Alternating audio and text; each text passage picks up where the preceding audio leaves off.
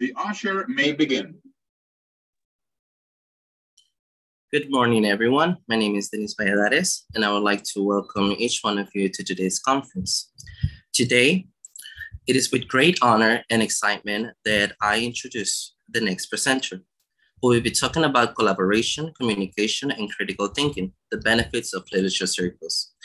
Isis Pamela Rodriguez Lopez is a graduate of a double master's degree in TESOL and foreign languages, literatures, and cultures from Southern Illinois University, USA. With eight years of experience, she has taught English and Spanish language courses at the university level. She is currently an instructor in the language teaching department at UPNFM, where she teaches courses on English language, literature analysis, and language didactics. So without further ado, please join me in welcoming Mrs. Pamela Rodriguez Lopez. The stage is yours. Good morning, everybody. Thank you very much for joining us in this session. I'm very excited to be here and share a little bit of what I've done in um, not only my literature classes, but also in uh, language level classes as well. We're going to talk about literature circles, which is uh, um, an activity that you have probably heard about before, or maybe you have used before. However, it's not very common um, in Honduras. So I decided to implement this at a higher education level, even though it was originally thought for um, middle schoolers. Okay, so let's begin by um, talking about what literature circles are. These are like a version of book clubs. Uh, they are reading and discussion groups led by students in which participants have thoughtful discussions about a selected book or material. As I said, it's like a like a school version of uh, book clubs. Um, the difference is that in literature circles, we have students have specific roles and they know what their tasks are before they have the discussion. So within the literature circle, these um, um, participants or students have roles such as summarizer, discussion director, connector, researcher. These vary a lot. It would depend on um, what, what your audience is, like what level they have. It, it can work for children, it can work for teenagers, it can work for adult learners. So it would just depend on who your students are and what you want to do in your class. So through engaging discussions that involve deeper comprehension of the text, we seek to promote collaboration, communication, and critical thinking. And as I discuss what we do in literature circles, uh, you will see that there are more than these benefits. There are a lot of benefits in using literature circles. So um, I encourage everyone to, um, to use literature circles regardless of the level you teach. So I'd like to talk about uh, literature circles specifically at UPN. As I said, I've used literature circles in my um, universal literature class, uh, and I've used shorter versions of literature circles in my English level language courses, and you will see why. So um, when I when I use them in my literature classes, they are long-term projects. That means uh, they, the literature circles last for the whole term. So we have groups of four people that uh, have different roles every week in the discussions. Um, they have weekly meetings. Um, we usually have the meetings on Thursdays and we have them in class so that I can monitor uh, how those meetings are going. And in case students have any questions, I'm there to address them. Um, Students also provide weekly reports where they share the most important points of their um, discussions. And then at the end of the term, they, um, they do a project defense. And we're going to have a sample of a project defense today. Two of my students are joining us today to give us a sample. All right. So I want to talk about the specific roles I've used in class, student roles. We have the summarizer, discussion director, connector, vocabulary wizard. I thought giving it a, an interesting name would be also motivating for students. So vocabulary wizard and the literary luminary. Um, so I instruct students to rotate these roles every week. In that sense, in that way, everybody in the group gets to have all the roles at some point so they can contribute in different ways in the discussions every week. Okay, so what the summarizer does, as you can imagine, prepares a summary. It should be a two or three minute summary of the reading assignment for the week and it should include key points, main highlights, and the general idea of that reading assignment. So the reading assignment can be uh, a short story. The reading assignment, uh, as I do in my classes, um, is usually a portion of the book they're reading. So say, mm, well, we're going to be having these discussions for six weeks.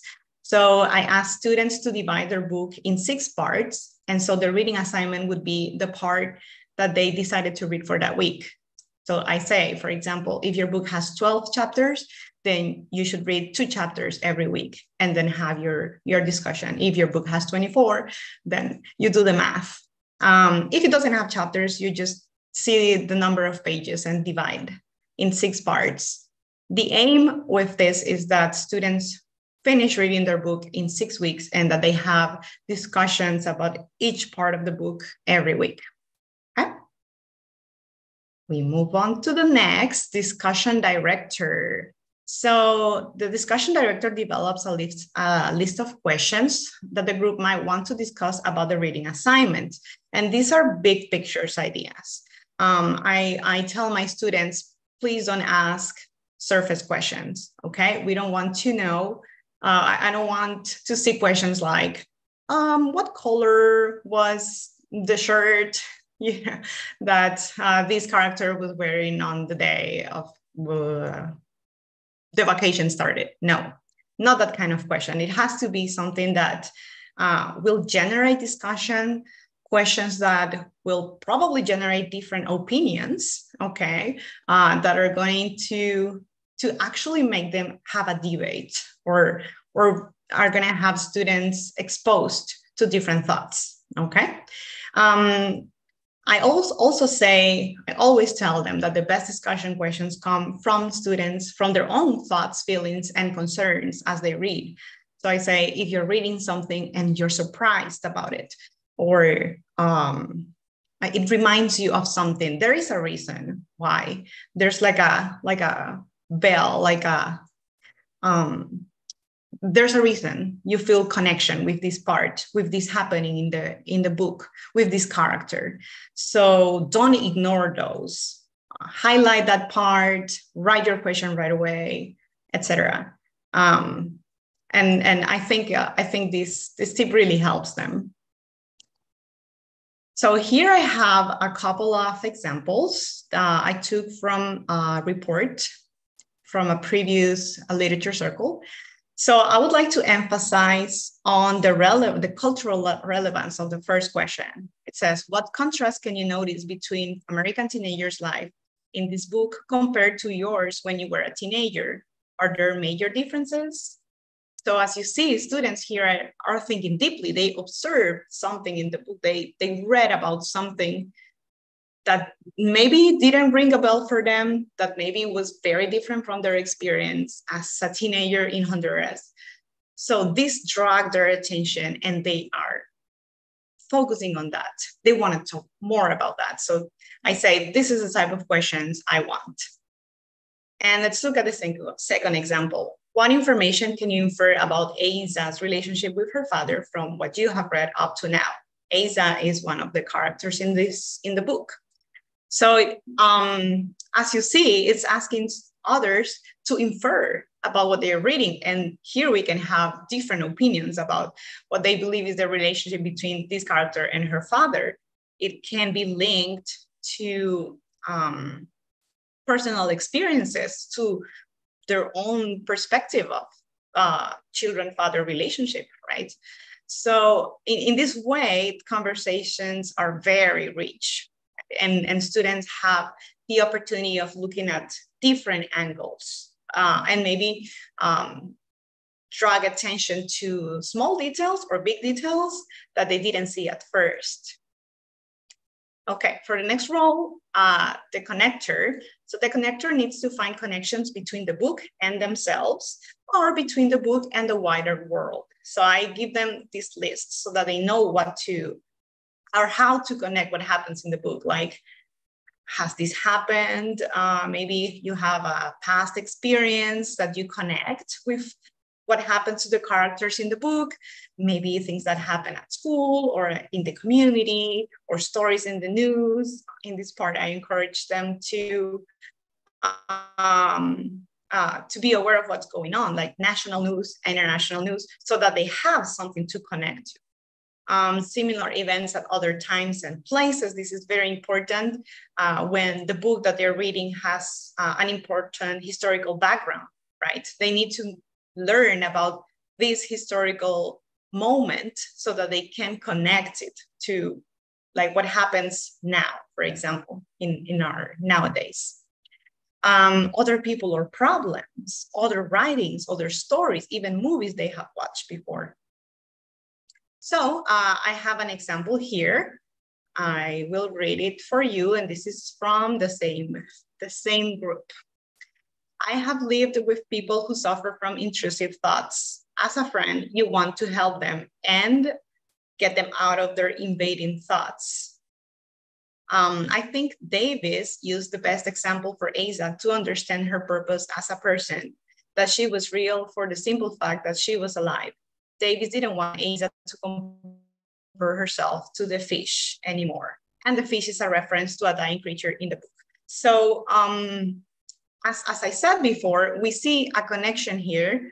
We see how the student um, has probably gone through an experience that the character is going through in the book.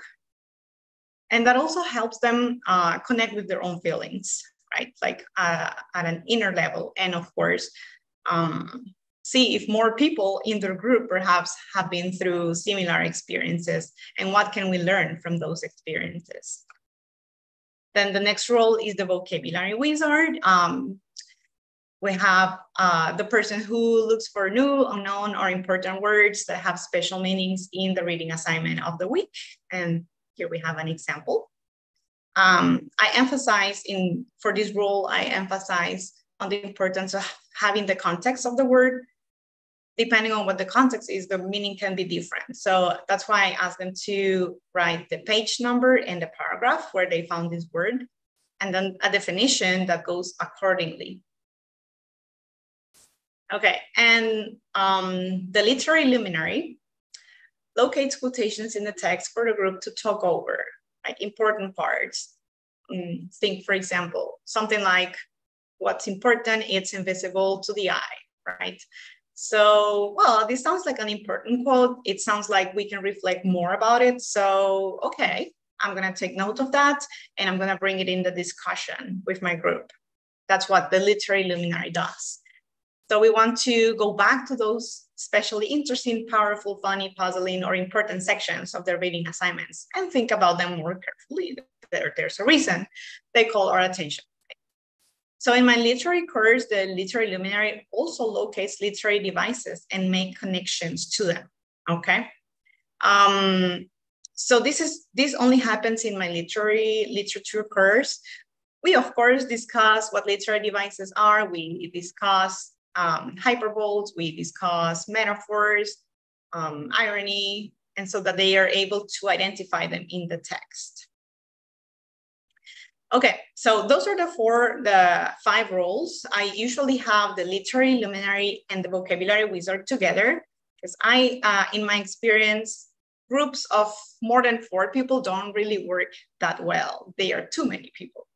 Um, so four is fine. So what I do is that um, on the week that a person is gonna have the vocabulary wizard um, role, they also have the literary luminary role. All right. So then I want to talk a little about the importance of collaboration. Well, um, I think it's it's uh, we can tell right as educators why collaboration is important. But uh, I want to talk specifically about online and face to face.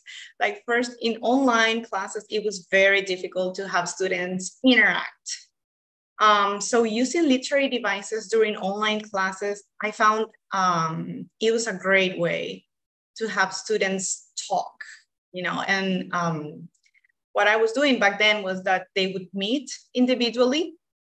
Um, I think their, their discussions was, were good, but then when we were face to face, I was there to see, to monitor them. So face to face is definitely better um, in the sense that you can you can see if they're struggling, you can see if they're doing okay, just by looking at their faces. You can tell, right? And then uh, how liter- literature circles promote collaborative learning. Well, of course, when students talk about things, they have to respect diverse opinions about things. Um, they have to negotiate meanings. They have to, they arrive to deeper insights of a text. And as I said, if, if um, maybe if a student brings a good idea in the group and then another brings a different idea, it's like, okay, we're building this together. We are collaborating, okay? Um, also, the fact that they have to take different roles allows them to contribute uniquely every week. So if this week you are the, the summarizer, well, that's your contribution. Uh, you can participate on the others. But then the next week, you get to be the connector, let's say. So then your participation will be a little bit different. And I believe, like, well, uh, as I was describing the roles, I believe you could see how each role has um, focuses on a different skill, right? So I, I think um, I think that definitely this promotes collaborative learning, and it's it's a benefit, of course um, to, to develop students' skills, analyzing skills, communication skills. Well, talking about communication skills, of course, um, they, they promote active participation. That's the heart of literary, um, literary circles that everybody is able to, to participate. So students need to be able to articulate their thoughts and to respond to the, the insights of the others in a, in a good way. So I say, well, you know, you need to respect what the other person says, even if you disagree, you know, you need to agree on disagreeing. If you just can't, uh, can't agree with the other person, we have to do that every day, right?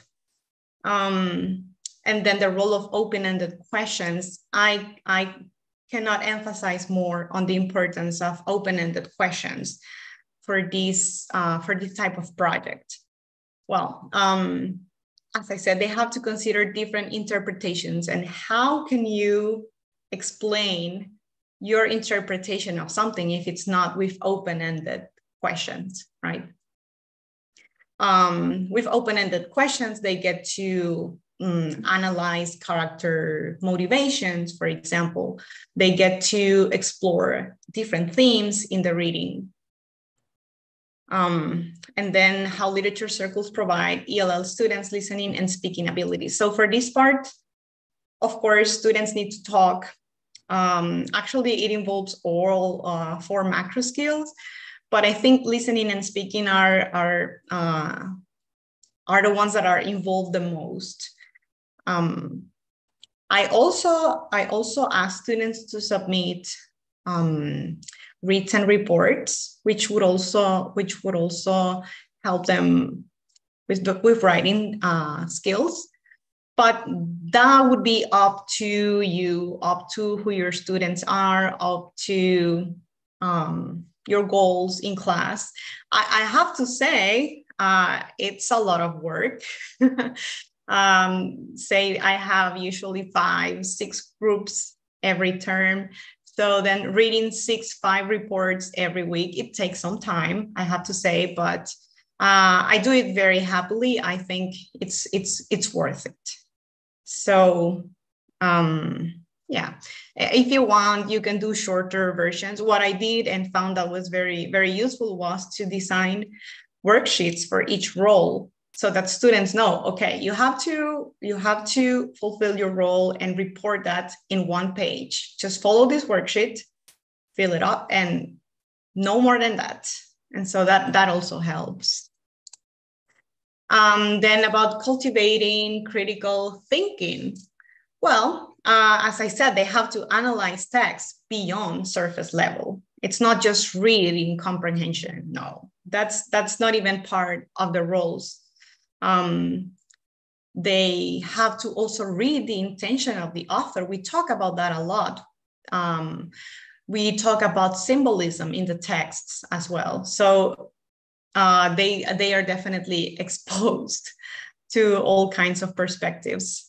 Um, also, um, with literature circles, students have to challenge their own assumptions. Right? You come to class, you come to this to uh, the discussion with one thing in mind, Maybe sometimes this is an assumption. Maybe you didn't consider other points of view or other things. And now that you're having this discussion, you realize that that you were missing this part, this portion. Okay. So now you see that before you jump into conclusions, you need to consider more points of view, right? Multiple angles. Um, and I want to give uh, an example for this I, I always do book talks before they choose their book. And um, although I, I leave it open for them to choose what book they want to read, I, I, I try to drive them so that we have uh, groups that choose historical background based books or novels. So, um, say we read the book Night. Okay um, by Elie Wiesel. Elie Wiesel is a survivor of the Holocaust.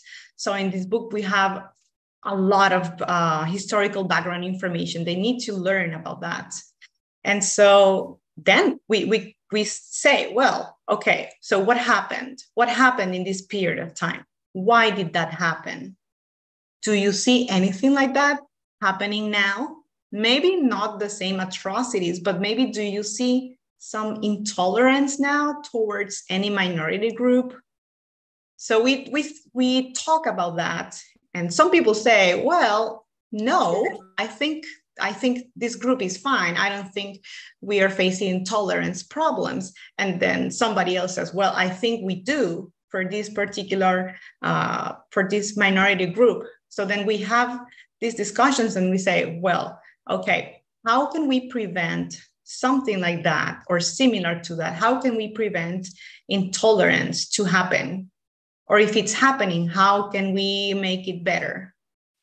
And then um, yeah we have we have different ideas wonderful ideas. Sometimes i get i get surprised by what students are able to do when you give them the chance of doing it.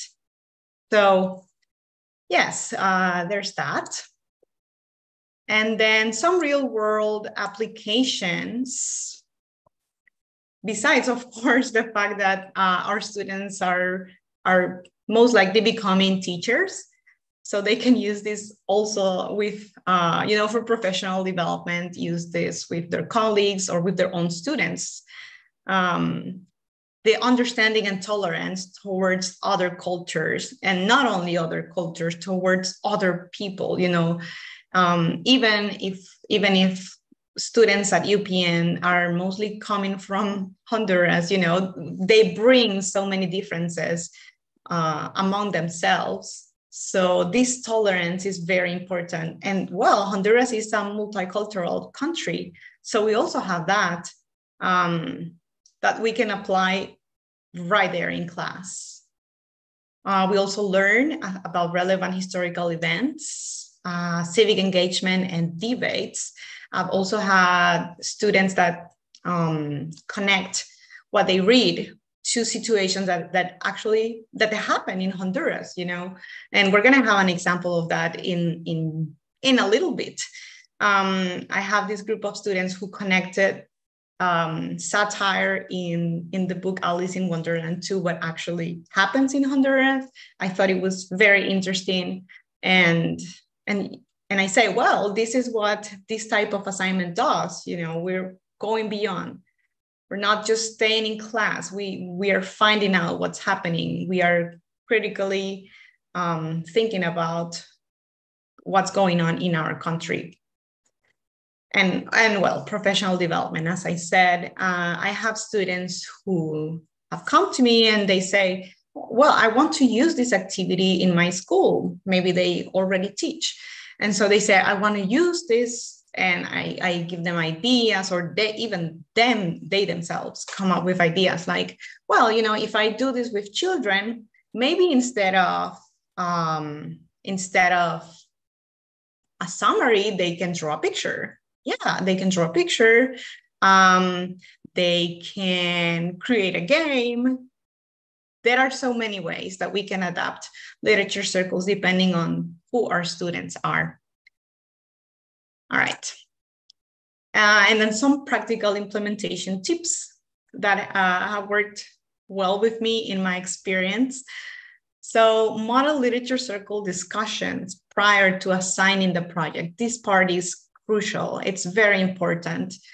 Our, our, our Honduran students are not um, are not very used to these type of assignments where they have to read and have these big discussions and long term.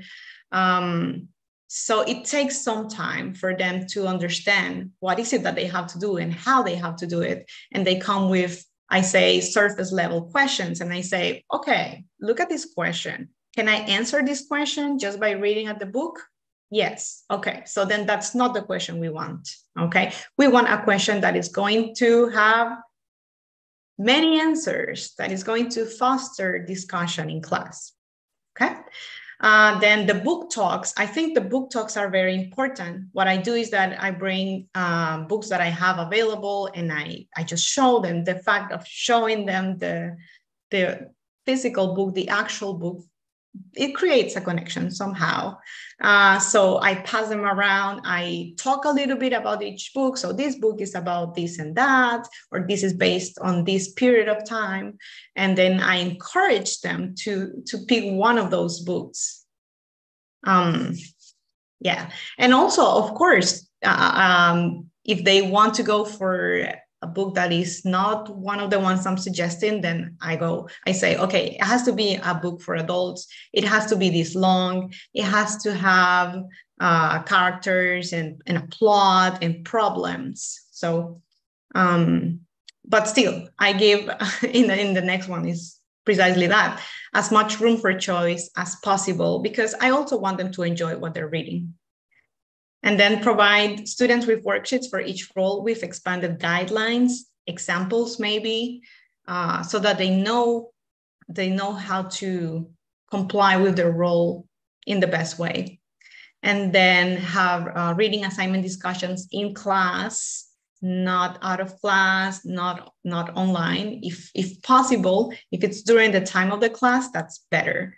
What I would usually do is assign one day of the week for the discussions.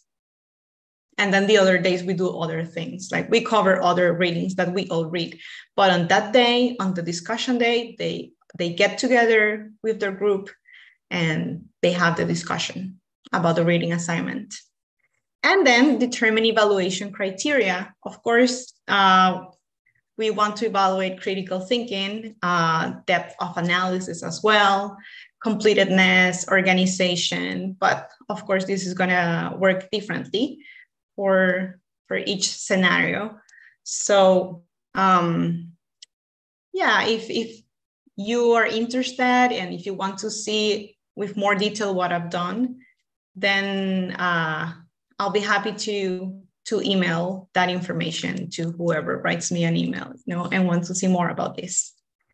Okay, so, uh, as I promised, we have here students Cristi Ramos and Erika Mairena. They were very brave and they decided to be part of this presentation and, and show everyone what they worked on during the first term of 2023.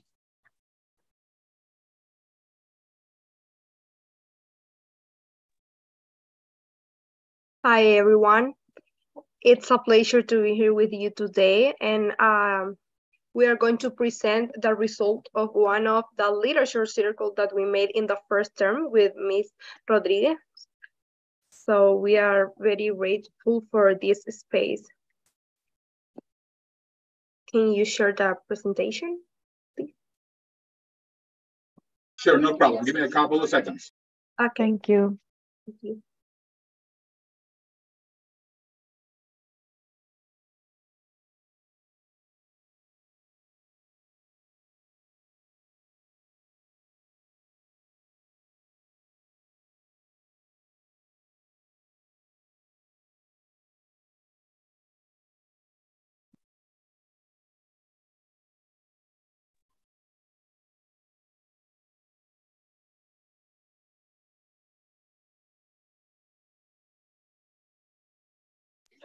Please let me know if you can share your screen.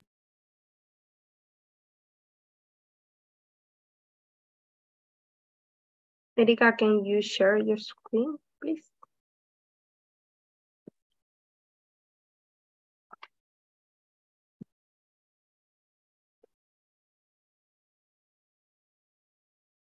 I can't.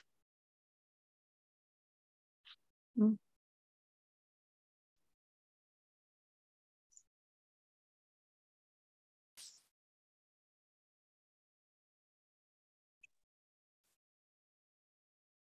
I'm going to try. It said that the host disabled the, the participant to screen sharing.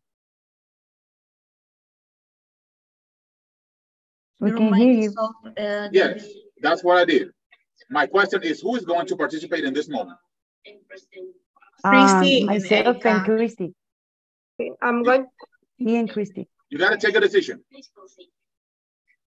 It says that, it- that is disabled to participant screen sharing. No, my question is, who is going to participate in this moment? Christy. Christy, okay. Christy, I'm going to work with Christy in this moment there. Okay, No problem.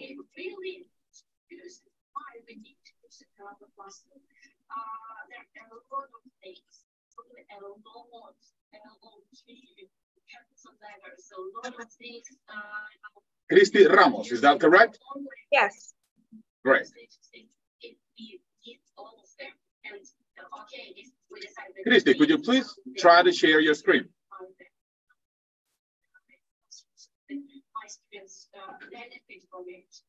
Perfect. We can see you all. You are the only one who has access in this moment. Thank you. Okay, thank you very much. You're welcome.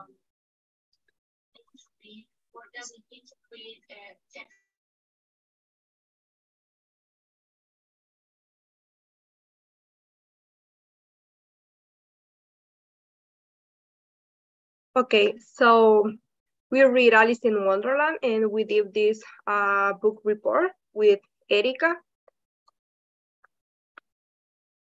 Our topic is the absurdity in regime rules and our thesis is the Red Queen's kingdom represented a satire of the Victorian era in England. However, 150 years later, we continue to identify that modern regimes, specifically Honduran re regimes, behave similarly to Lewis Carroll's fictional political setting. When we read Alice in Wonderland, we can find a lot of interesting topics, but we choose this topic and this thesis because uh, here in Honduras, we have enough examples to, to talk about the situation, talking in a political aspect, right? So um, we're going to compare the Red Queen, that will be our character as a political reference, and we are going to compare uh, with our politicians. The first, the first thing that we are going to compare is the Wheel of Rule, where the mandate is based on chaos, corruption, and injustices. And that is uh, the same story here in Honduras. Um, and this way of rule where only uh, the ruler has benefits or his or his family or even close people have benefits while the, um, the rest of the population is suffering is suffering economic educative and health problems so so this is the absurd point of being power because it's supposed that the ruler has to has to put the needs of the people first and has to avoid the chaos and the corruption. But here in Honduras, is it is the opposite. Uh, that is very common also in Alice in Wonderland, where um, Alice, the white rabbit, the March Hare, and we're under the um, the the orders of the queen. And this this happened is still happening and is likely to continue happening here in our country where we have no voice no vote. Now we have a, a, short diagram to explain more better about the five scenes that we compared to with our reality and uh, the fiction of the book. So the first one is the trial against the Knave of Hearts compared with Kevin Solorzano's trial, trials. The second one is the phrase of with the head, with the spiritual and physical death of many martyrs of our homeland. The third one is the ZEDEs. The fourth is the color of the roses with the color of the nation flag. And the last but not least is the Queen of Hearts army and our ruler's army.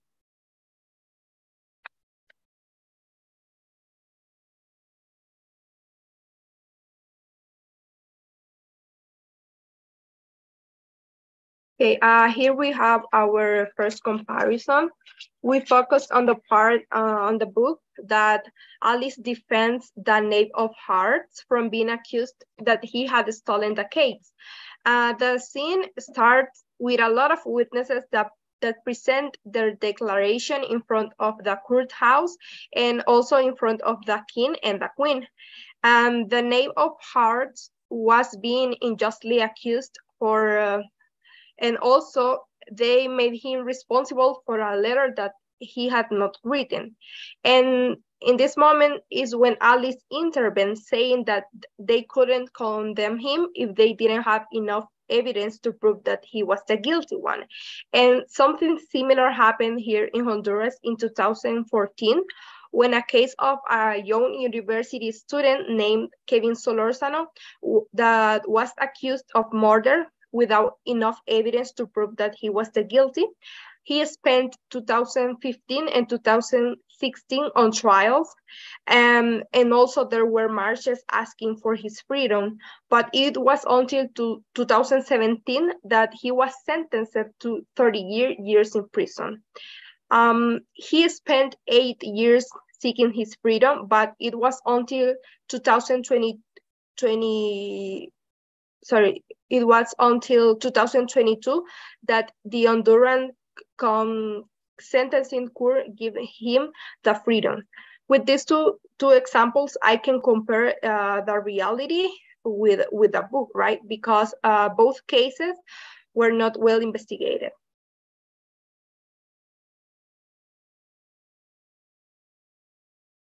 Good morning, everybody. My pleasure to be with all of you this morning.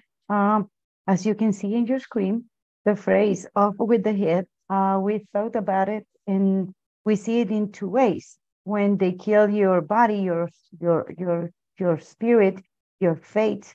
And um, we thought about the martyrs in our country. And we, as, as part of our investigation, we thought about uh, the, the assassination of Berta Cáceres, as you can see it in your left side of the screen.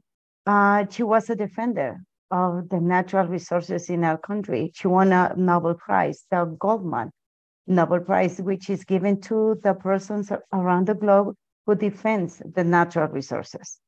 So against her, um, she raised with the people of the west of our country because she wanted to save a river. A river is uh, Gualcarque name, and uh, she was against the construction of a dam. So um, she fight and against the politician and the businessmen uh, in a, in the government of our country because they wanted to do it. They were saying to the people that it was a benefit, but at the same time, it was destroying a great part, acres and acres of, of trees and pure water. So the people uh, wanted to save it and support her. So one day, um, they plan they plan the assassination of her, and it, it this happened on March between the two and the third of the early morning of March in 2016. And as usually, the person who say I saw it, I I see who who killed her, an eyewitness disappeared. And, um, and the government is not doing anything, but her daughters are still uh, fighting and the people are still fighting for justice because they don't want this assassination is remains without being on trail. So one of the persons, another person that is on the screen also on the right right side of the screen is um, Alfredo Landaverde. He was a recognized politician and an expert of security issues in our country. And as part of the political politician, as I said before, he found out the criminal structure was conformed by the high political class in our country. Uh, he wanted to end this corruption because he loved so much this country. He loved this. He loved so much uh, the land where he belonged, and um, he was raising his voice against all this. And I remember that one day he appears on a very important news, and uh, he said that he was sick, he was tired to see the Honduras was using as a bridge to bring uh, drugs and uh, and use uh, as a land place uh, for the for the airplanes. They left the drugs, they uh, carry one money, and then they leave the country to go uh, wherever they want to go to United to the U.S. or Canada or wherever they want to go. So he was tired to see that they were building uh, land um, land places for airplanes, and the people was dying in the hospitals. The school was not um, reconstruct. They were not creating new jobs for uh, for um, for teachers, and so he was so sick of this that he uh, had a, a very famous notebook where he has the name of the persons who were involved of, of, uh, of on it and the places where they gather, the, um, uh, they have the uh, the amounts of money, the amounts of uh, of drug that uh, they uh, were uh, bringing to Honduras. So because he was stung on the foot, he they decided to kill him, and they did it this on December second, December um, 2011, the year. He was murdered by a motorcycle sicario in Tegucigalpa. So as usually happen, the murder of this man has been is isn't been uh, going on a trial. Um, another another thing that we found out is re, uh, that is related is the the assassination of Aristides Gonzalez, better known as a czar of against drugs in our country. He was working with the American embassy and uh, uh, fighting against uh, drugs. And uh, he was um, he was quite interested in um, destroying these these uh, political people who was working with the drug dealers. So as as as they as we say before, he was a song on the on the foot, and they planned the assassination of him. There is also a video in YouTube. You can find it on Facebook where uh, a person who worked with him and know him very well, knowing as uh, Juan Carlos Bonilla, um, uh, he planned uh, the murder of him, the assassination of him. Of him. And um, our country is very, uh, very, uh, very sick of all this corruption, and they wanted to to end it all.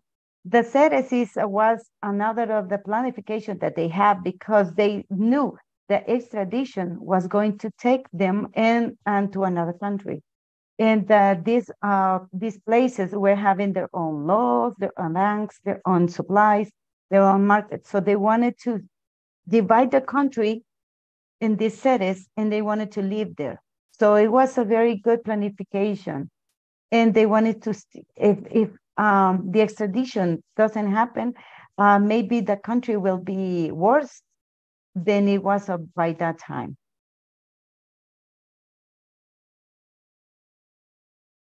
Another comparison that we have is the color of the roses and the color of the national flag.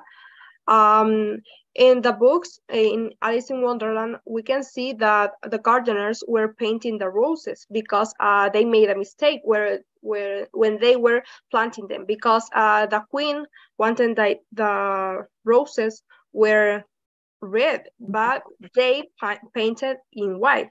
But they realized too late, but they reacted at the same time. So they began uh, painting the roses. And uh, this is uh, similar, uh, something that happened here in Honduras when the president Juan Manuel Galvez established that the color of the flag will be turquoise blue with uh, the center stripe with five stars.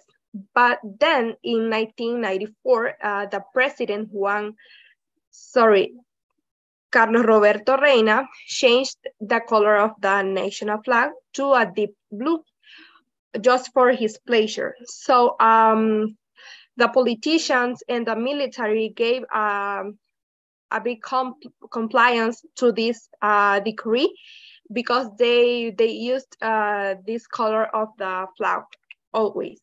But um, it was until January 27th in 2022 with a new government that um, they returned the, the national flag uh, to its turquoise blue.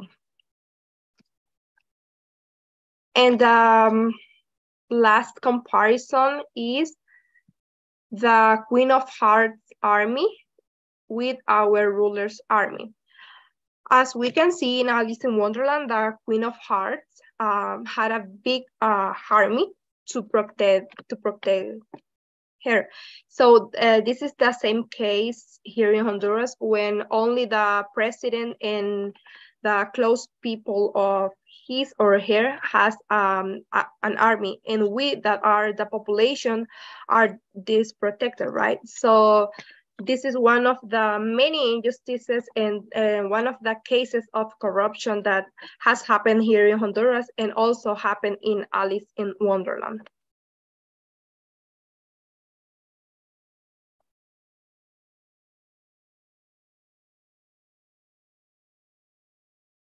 As part of our conclusions, we even thought the book Alice in Wonderland contains satire and of the absurdity of the Victorian era we see that the practices of the, ruler, the rulers are extremely similar 150 years later in our country, completely different from England.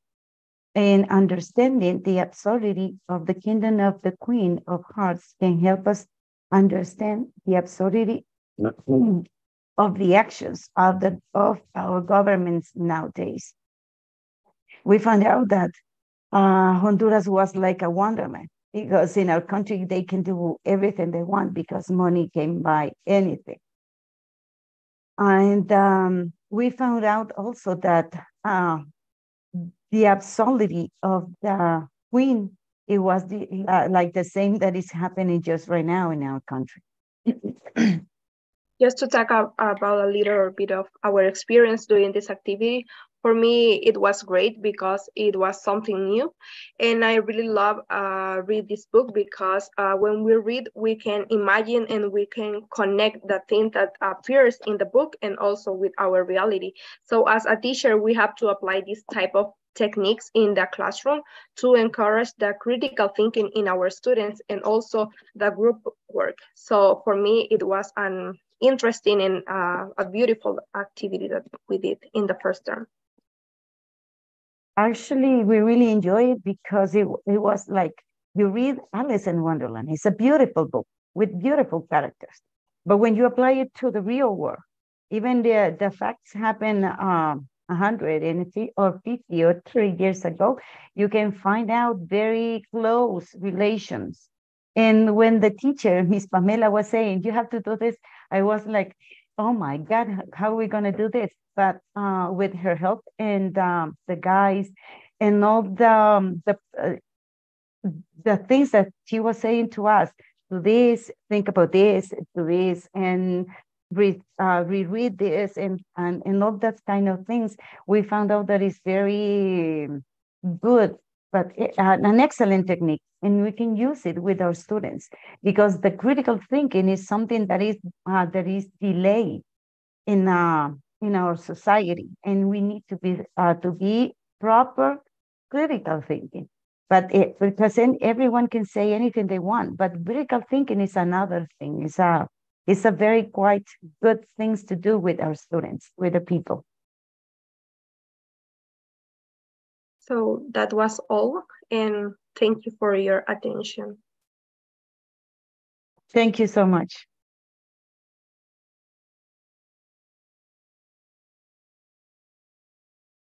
Thank you very much to both of you. Um, I just want to close the presentation. Um, just to, I just want to mention some um, potential challenges and how to solve them. Um, in-class discussion definitely help.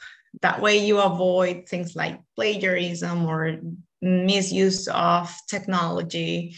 As for access to the books, I recommend that if you work with this with this um, project, then you assign it early so that students have time to pick their books and get those books. Um, and if you if you want, you can instead of reading a book, you can use short stories and have students read a short story and then have the, the discussions the following week. And um, finally, I recommend peer evaluation as well so that students themselves can give feedback on attendance and participation from their peers. So uh, thank you very much, everyone, for joining us today. Um, I'm sharing my email in in the chat in case you want me to share what I have been using for this activity in the past.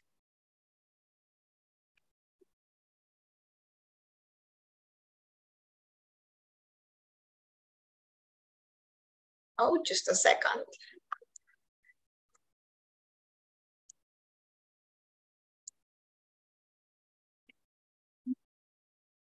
Okay, so special thanks to the organizers of the conference and thank you to Christy and Erica for being here with me today.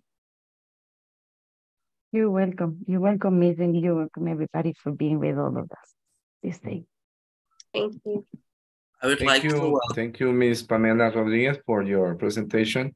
We have been witnessing your uh, professional and academic growth, and uh, we are so proud of you. Okay, thanks for sharing. Congratulations once again. Thank you very much. Thank you very much.